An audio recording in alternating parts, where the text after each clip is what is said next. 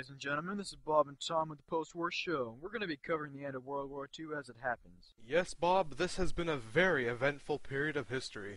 A lot of devastation has occurred in Europe, and many people have suffered.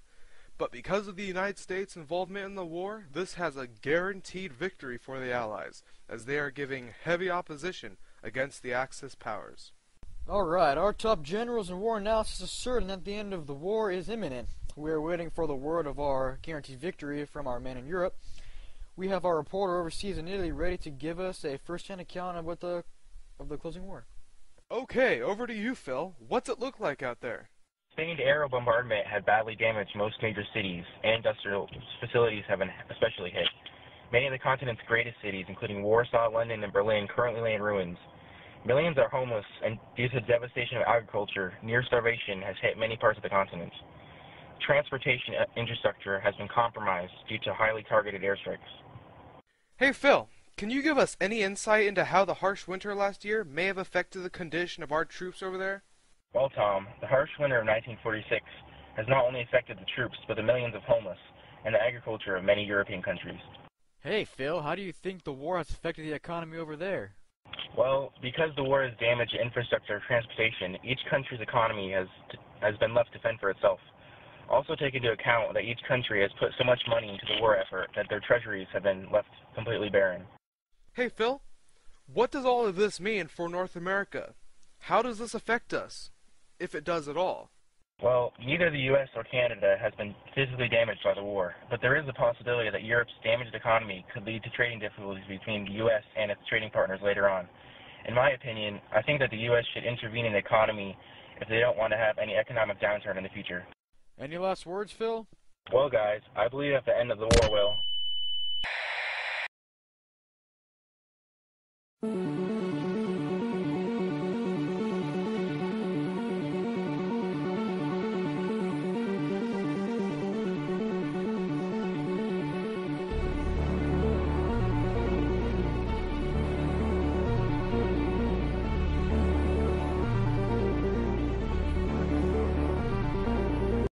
Evening, gents. I've gathered you here to integrate a revolutionary plan.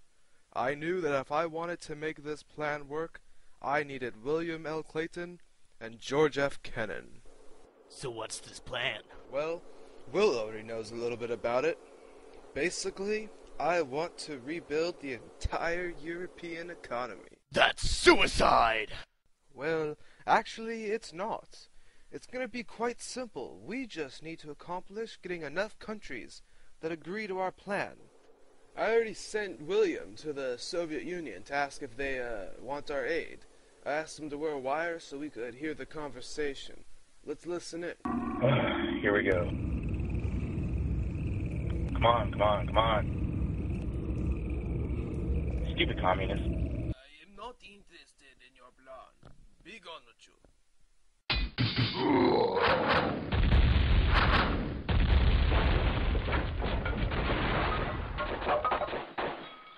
William, what's going on in there? What's happening? Is everything alright? William, is everything alright? What happened to you? It went alright. I just don't think they're t- we're too interested. Well, too bad about that. I was really hoping they'd go for our plan. Here's what I think our next step should be then. Well, first, we should contact Greece and Turkey, since they were at the front lines and they got the brunt of the battles. Then we will move on to a more general outreach to the rest of Europe. Well, not to the communists, right? Well, there are some communist countries that need our help.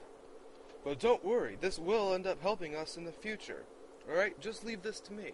They don't call me the planner 'cause I make calendars. Uh, so how are we gonna go about organizing this? well, if you hold on, George, I'm gonna tell you what we're gonna do. First, we will send envoys from the Economic Cooperation Administration to each country that agrees to our aid. These people will be prominent businessmen who will act as advisors to aid in the financial process. Just leave that to me. Whoa, whoa, we don't need that. Don't worry, I already have some contacts for the job. These men will help the local governments properly divide the money to ensure it gets to its rightful place.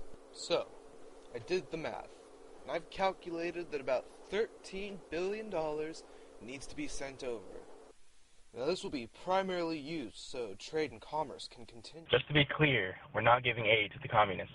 No, William, we're giving money to the communists. By the way, I do know that later on this money will be used for reconstruction projects and military advancements, but we have to realize this is for the greater good, and this will allow these countries to rebuild their economies. We should consider, though, that before sending the money, we should send some staples like food and water, and th- this will help these countries get back up on their feet.